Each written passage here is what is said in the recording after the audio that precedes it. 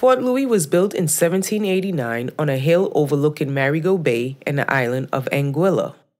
Its main purpose was to defend the harbor warehouses where goods were stored.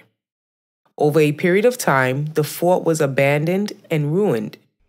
In the 19th century, it was restored and abandoned again. It was also the site of the battle between the French and English, as the latter occasionally came across from Anguilla to raid the warehouses. Over the years, the Hope Estate Archaeologists Association restored and renovated the site.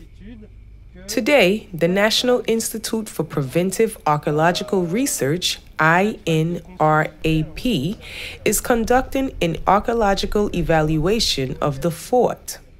The Collectivité of Saint Martin and the Service of Archaeology of the Cultural Affairs Department of Guadeloupe, DAC, suggested an evaluation of the fort to find any remnants of the 18th century building that may be still visible and to specify the topography of existing elements.